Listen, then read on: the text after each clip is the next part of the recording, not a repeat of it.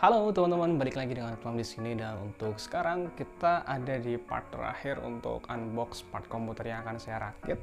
Ini giliran ini nih, gede banget isinya. Ini adalah Mobo atau motherboard dan juga prosesornya. Ini nih Mobo sama prosesornya di satu paket. Saya untuk rakitnya uh, uh, Intel yang generasi ke ke-12 ya. Ini masih segel semuanya teman-teman. Oke, kita langsung buka aja apa isi dalemannya. Dalemannya coba. Kita mulai buka pakai gunting aja mungkin ya. Pakai gunting aja karena ini bentuknya lucu teman-teman. Ini tanpa packing kayu. Jadi ya semoga isinya aman-aman aja lah ya. Selama ini saya beli tanpa packing kayu, bahkan monitor ini saya beli tanpa packing kayu pun alhamdulillah nggak ada masalah ya. tapi kalau misalkan teman-teman pengen lebih merasa lebih aman ya silahkan pakai packing kayu ini bubble wrapnya.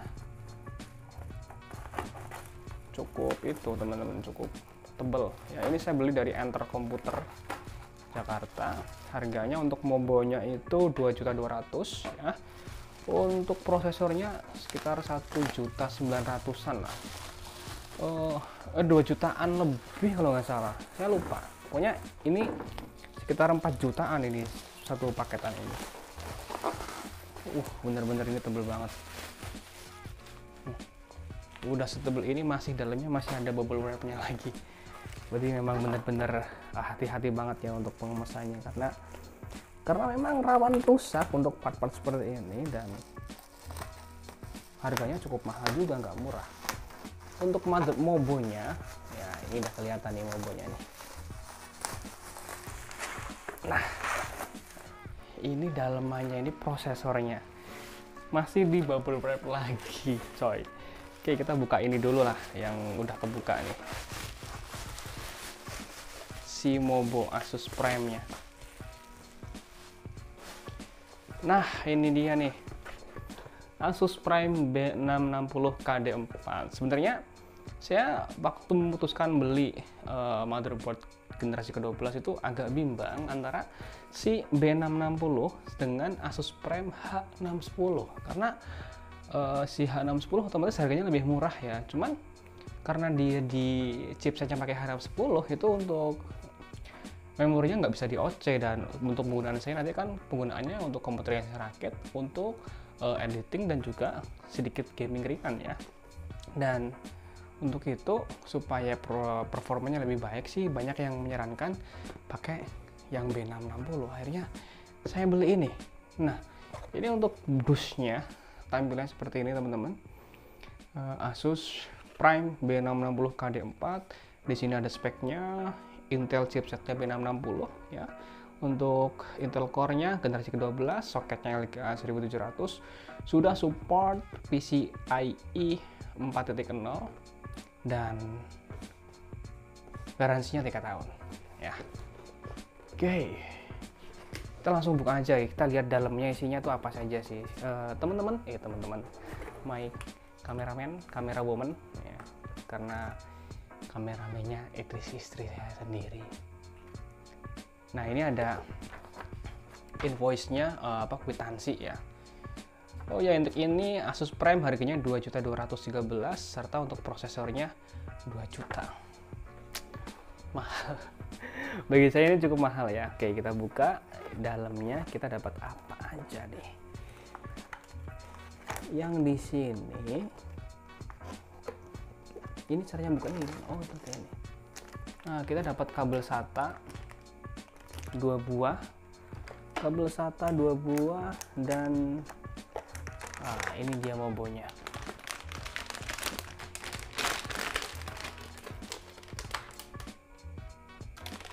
nih mobonya si Asus Prime B660 ini VRM nya udah ada heatsinknya saya suka ini sih soalnya untuk mendinginkan ya tempat prosesornya RAM-nya cuma dua slot nggak apa-apa. Terus ini untuk VGA cardnya. Ini untuk uh, NVMe nya ada satu dua ada dua ya ada dua slot SSD NVMe dan SATA-nya bisa 1 2 3 4 ya itu. Terus kita coba taruh dulu nih selanjutnya di dalamnya lagi kita dapat kartu garansi. Kecil banget kartu garansinya coy. Hmm, tiga tahun seperti ini. Dan di belakangnya ada ini untuk kita rakit nanti. Serta dikasih apa ini?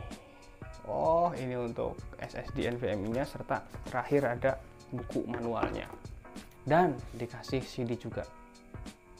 Ya seperti ini. Masih ada CD-CDan nggak tahu nanti ini saya pasangnya di mana kan nggak punya CD room.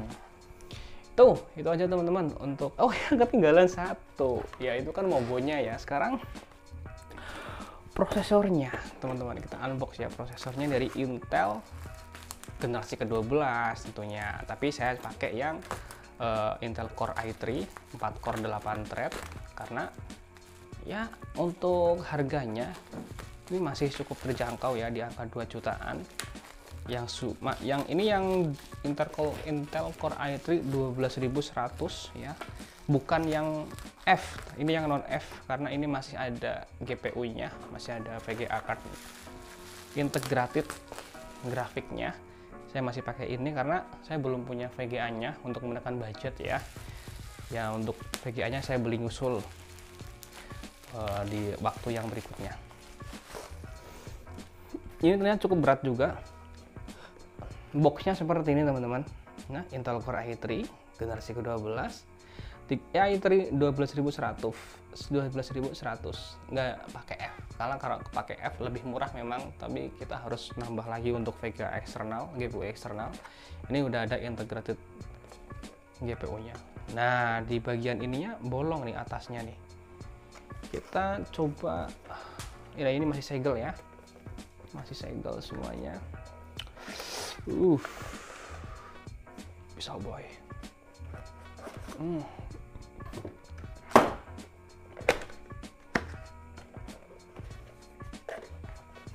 Isinya kosong udah. Dan kerdus kotak kayak gini. Buku manualnya.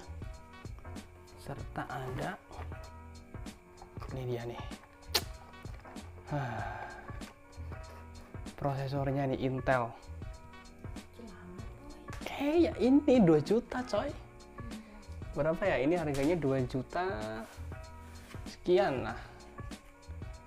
2 juta kurang lebih. Intel Core i3 12100 kita dapat ini prosesornya sama. Kita dapat ya heatsink kipasnya.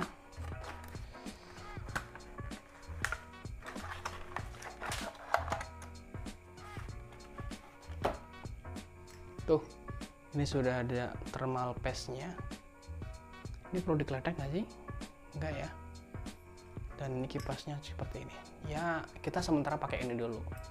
Untuk berikutnya ya pastinya akan saya pakai. Beli lagi yang yang pihak ketiga. Ya itu teman-teman. Lengkap sudah untuk unboxingnya video unboxingnya. Nanti untuk part berikutnya saya akan buatkan video rakit PC nya hmm, sementara untuk sekarang cukup sampai di sini. Sampai jumpa lagi di video berikutnya. Jangan lupa like kalau suka dan dislike aja kalau misalnya nggak suka.